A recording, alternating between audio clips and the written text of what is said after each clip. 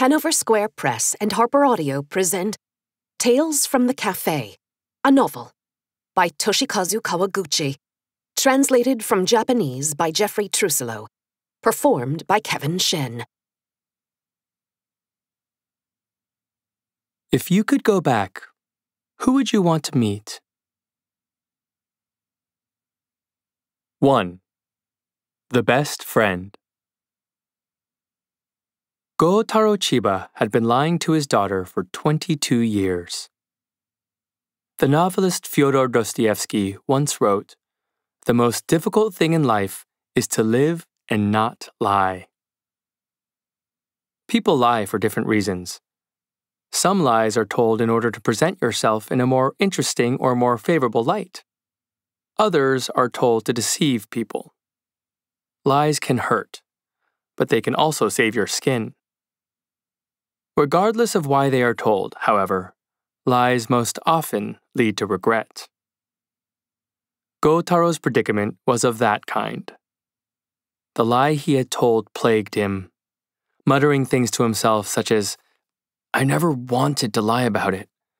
He was walking back and forth outside the cafe that offered its customers the chance to travel back in time. The cafe was a few minutes' walk from Jimbocho Station in central Tokyo.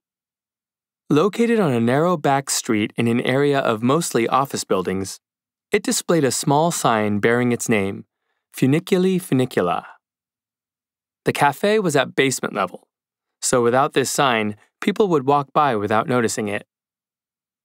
Descending the stairs, Gotaro arrived at a door decorated with engravings. Still muttering to himself, he shook his head, swung round, and began walking back up the stairs. But then he suddenly stopped with a thoughtful expression on his face. He went back and forth for a while, climbing the stairs and descending them. Why not stew over it after you come in? said a voice abruptly.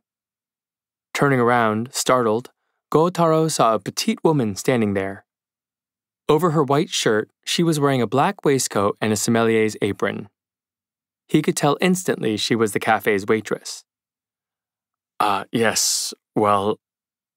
As Gotaro began to struggle with his response, the woman slipped past him and briskly descended the stairs. Clang dong. The ring of a cowbell hung in the air as she entered the cafe. She hadn't exactly twisted his arm, but Gotaro descended once again. He felt a weird calmness sweep over him, as if the contents of his heart had been laid bare. He had been stuck walking back and forth because he had no way of being certain that this cafe was actually the cafe where you could return to the past. He'd come there believing the story, but if the rumor his old friend had told him was completely made up, he would soon be one very embarrassed customer. If traveling back to the past was indeed real, he had heard there were some annoying conditions that you had to follow.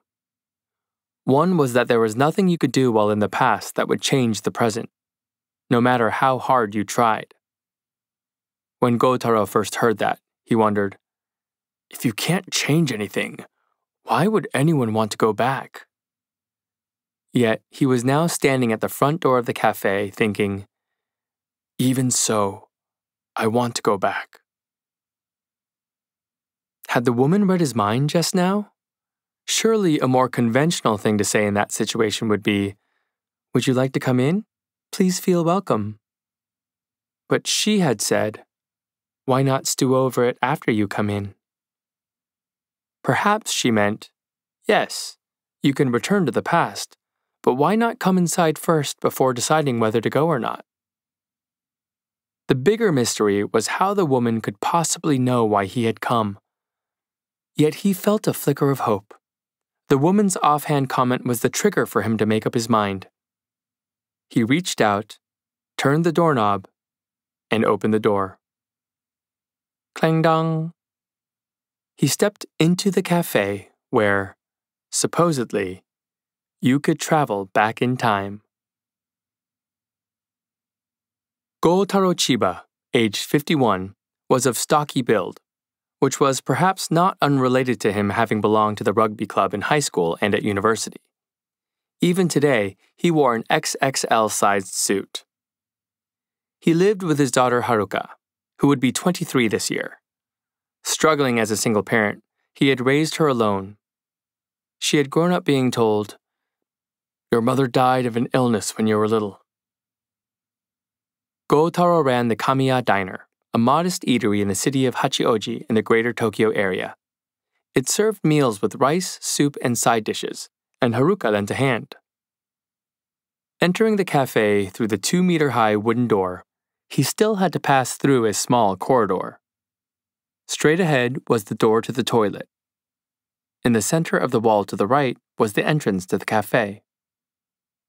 As he stepped into the cafe itself, he saw a woman sitting at one of the counter chairs. She instantly called out, Kazu, customer! Sitting beside her was a boy who looked about elementary school age. At the far table sat a woman in a white short sleeved dress. With a pale complexion and a complete lack of interest in the world around her, she was quietly reading a book.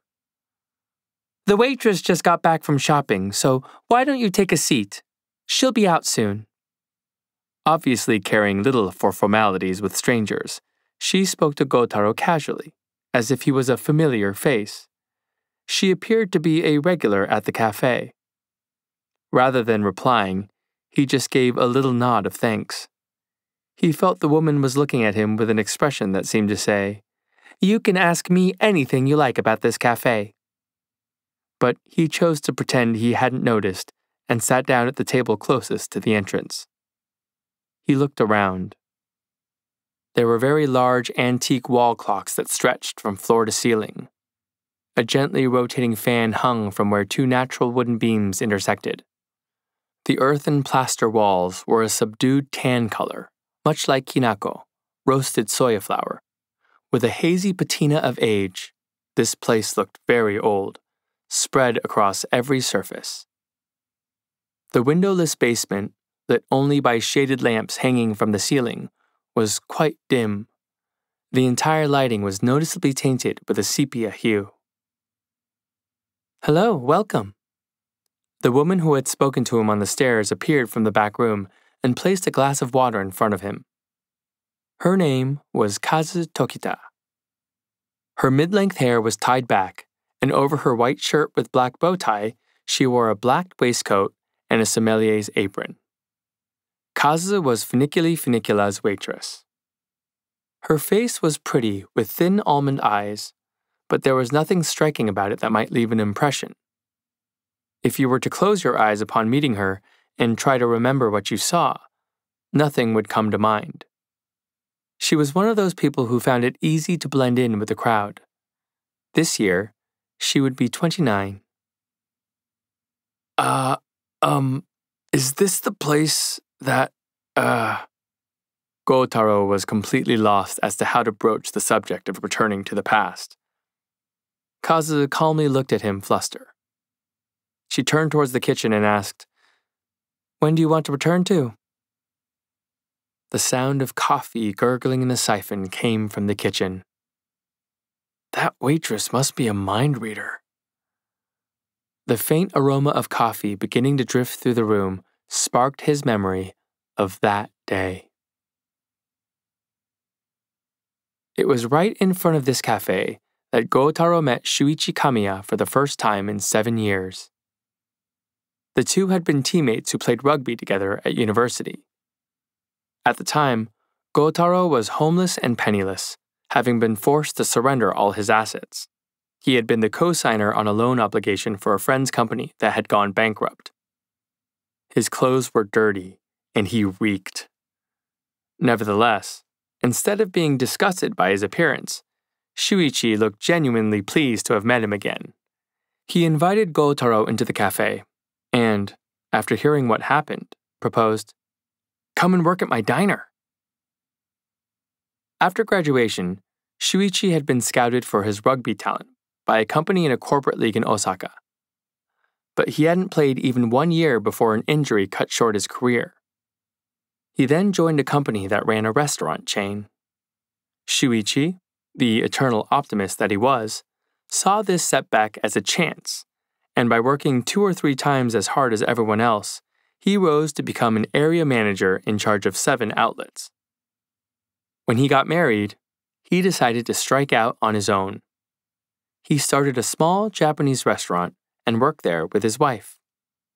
Now he told Gotaro that the restaurant was busy and that some extra help would be welcome. If you accepted my offer, it would be helping me out too. Run down by poverty and having lost all hope, Gotaro broke down in tears of gratitude. He nodded. Okay, I'll do it. The chair screeched as Shuichi stood up abruptly. Grinning cheerfully, he added, Oh, and wait till you see my daughter. Gotaro still wasn't married, and he was a little surprised to hear that Shuichi had a child. Daughter, he responded, with his eyes widening. Yeah, she's just been born. She is so cute. Shuichi seemed pleased with Gotaro's response. He took the bill and strolled over to the cash register. Excuse me, I'd like to pay. Standing at the register was a fellow about high school age. He was very tall, close to two meters in height, and had distant, thin almond eyes. Comes to 760 yen. Here, from this, please. Gotaro and Shuichi were rugby players and bigger than most, but they both looked up at the young fellow, then looked at each other and laughed, probably because they were thinking the same thing. This guy is built for rugby. And here's your change. Shuichi took the change and headed for the exit. Before he was homeless, Gotaro was quite well off, having inherited his father's company that made over 100 million yen a year. Gotaro was a sincere kind of guy, but money changes people. It put him in a good mood, and he started squandering it. There was a time in his life when he thought that if you had money, you could do anything. But his friend's company, to which he had co signed as guarantor, folded and after being hit with this huge debt obligation, his own company went under too. As soon as his money was gone, everyone around him suddenly started treating him like an outcast. He had thought those close to him were his friends, but they deserted him. One even saying openly to his face, What use are you without money? But Shuichi was different. He treated Gotaro, who had lost everything, as important. People willing to help someone struggling without expecting anything in return are rare indeed. But Shuichi Kamiya was one such person. As he followed Shuichi out of the cafe, Gotaro was adamant in his resolve. I'll repay this favor. Clang dong. That was 22 years ago. Gotaro Chiba reached for the glass in front of him. Wetting his parched throat, he sighed. He looked young for 51, but a scattering of gray hairs had begun to show. And so I started to work for Shuichi. I put my head down and tried to learn the job as fast as I could. But after a year, there was a traffic accident. Shuichi and his wife.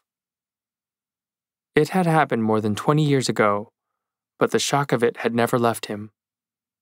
His eyes reddened and he began choking on his words. Slurp. The boy sitting at the counter began noisily sucking the final drops of his orange juice through his straw. And what happened then? Kazu asked matter of factly, not pausing in her work. She never changed her tone, no matter how serious the conversation. That was her stance, her way of keeping herself at a distance from people, perhaps. Shuichi's daughter survived, and I decided to bring her up. Gotaro spoke with his eyes cast down as if muttering to himself. Then he stood up slowly. I beg of you, please let me go back to that day 22 years ago. He bowed long and deep, bringing his hips to a near right angle and dropping his head lower. This was the Cafe Funiculi Funicula, the cafe that became the subject of an urban legend some 10 years ago as being the one where you could go back in time. Urban legends are made up, but it was said that at this cafe, you could really return to the past. All sorts of tales are told about it, even today, like the one about the woman who went back to see the boyfriend she had split up from, or the sister who returned to see her younger sister who had been killed in a car crash, and the wife who traveled to see her husband who had lost his memory. We hope you enjoyed this preview. To continue listening to this audiobook on Google Play Books, use the link in the video description.